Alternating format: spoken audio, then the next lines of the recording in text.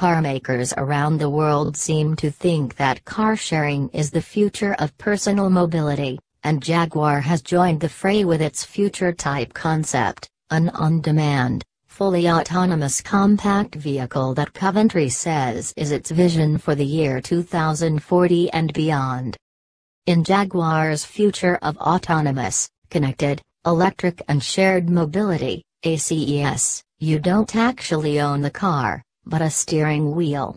Called Sayer, after the designer of the iconic E-Type, it's a voice-activated artificial intelligence, AI, device that can perform hundreds of tasks. In addition to summoning a car, it can also play music, book you a table and even knows what's in your fridge.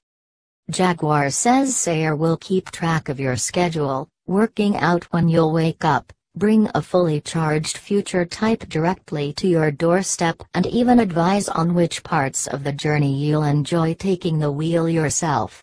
It will also have orbits for your home, work, friends and family to allow you to keep track of what's happening and stay connected.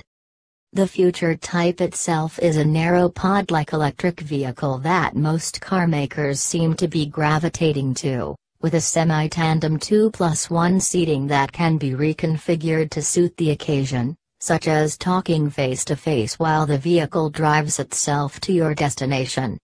Vehicle-to-vehicle -vehicle communication enables shorter distances between vehicles and makes for more efficient lane changes and junction exits. This increases road capacity, helped by the narrow body, and prevents accidents.